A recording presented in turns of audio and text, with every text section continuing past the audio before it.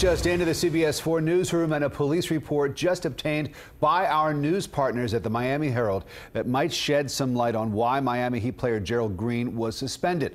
CBS 4 sports anchor Jim Berry is in the newsroom. He has those details for us. Jim. Rick, here's what we got. According to the report, Green punched someone in the eye in the lobby of his downtown Miami condo. This was after he showed up with bloody hands asking for medical help. Green spent four days at a local hospital following a strange episode last week.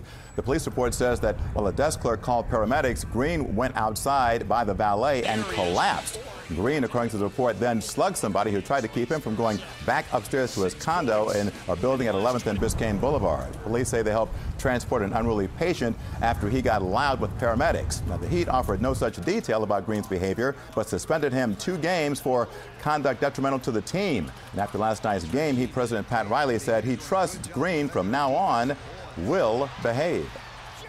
I just uh, believe that uh, that we can, and so I've been around this game for 48 years, and uh, he's a, he's he's really a, a, great kid, and he's a great athlete. Can really shoot the ball. He's explosive. We're going to need him, and and and I believe that that he's going to show that to us.